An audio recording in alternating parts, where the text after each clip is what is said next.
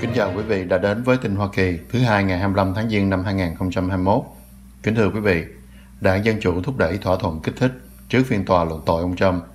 Tổng thống Joe Biden phải đối mặt với khó khăn để đảm bảo sự ủng hộ của lưỡng đảng cho kế hoạch kích thích trị giá 1.900 tỷ đô la của mình sau khi các đảng viên đảng Dân Chủ tại Quốc hội cho biết họ muốn có một thỏa thuận trước khi phiên tòa luận tội thứ hai của Tổng thống Donald Trump bắt đầu vào ngày 8 tháng 2.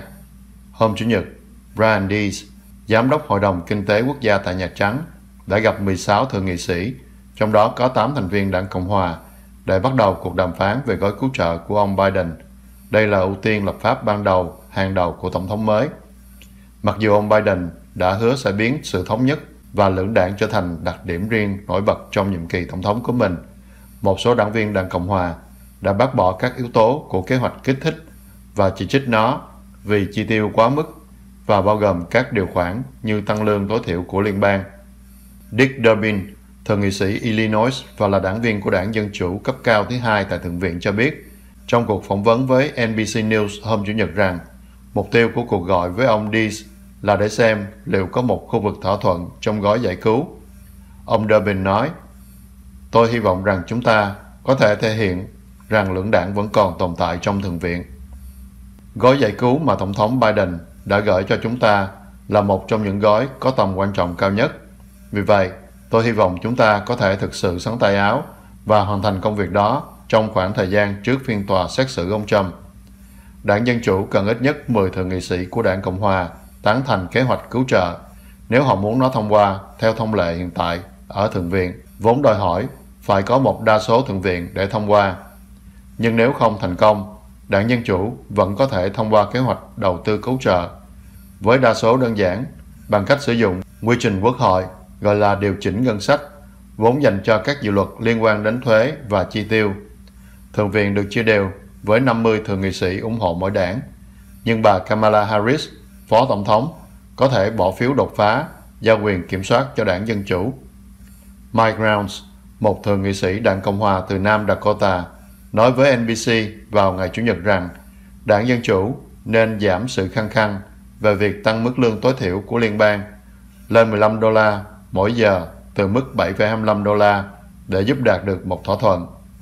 Ông nói, tôi thực sự không nghĩ rằng chúng ta đang đi xa khỏi hướng cứu trợ COVID, đặc biệt là ở các khu vực được nhắm mục tiêu. Thách thức thực sự là liệu đảng Dân Chủ có chuẩn bị sẵn sàng để rời bỏ một số điểm không được nhắm mục tiêu cụ thể để cứu trợ COVID hay không. Việc thúc đẩy một thỏa thuận kích thích nhanh chóng được đưa vào trước động thái dự kiến hôm thứ Hai của Hạ viện do đảng Dân Chủ kiểm soát để truyền tải bài luận tội Tổng thống Trump vì đã kích động cuộc tấn công vào ngày 6 tháng Giêng vào Điện Capitol của Mỹ. Thông thường, điều này sẽ kích hoạt phiên tòa Thượng viện, bắt đầu phiên tòa chống lại cựu Tổng thống vào ngày hôm sau. Nhưng đảng Cộng Hòa và đảng Dân Chủ đã đạt được một thỏa thuận trì hoãn quá trình cốt lõi của thủ tục cho đến ngày 8 tháng 2. Đối với đảng viên đảng Cộng Hòa, điều này sẽ cho phép ông Trump nhiều thời gian hơn để chuẩn bị bào chữa cho mình và đảng Dân Chủ để xác nhận thêm những người được bổ nhiệm trong nội các của ông Biden và thông qua gói cứu trợ. Phát biểu trên Fox News Sunday, Mitt Romney, thượng nghị sĩ đảng Cộng hòa từ Utah cho biết ông nghiêng về việc kết tội của ông Trump, nói rằng hành vi đó là sai sót và điều quan trọng là phải có trách nhiệm giải trình vì sự thật và công lý. Nhưng không có khả năng có sự ủng hộ của đảng Cộng hòa để bị kết án ở Thượng viện. Marco Rubio, thượng nghị sĩ đảng Cộng hòa của Florida, nói với Fox News Sunday rằng trong khi ông Trump chịu trách nhiệm về một số những gì đã xảy ra tại Điện Capitol, ông này không đồng ý về việc luận tội. Tôi nghĩ phiên tòa luận tội này thật là ngu ngốc. Tôi nghĩ nó phản tác dụng. Chúng ta đã có một ngọn lửa bùng cháy ở đất nước này và nó giống như là lấy một đống xăng đổ lên trên ngọn lửa đó.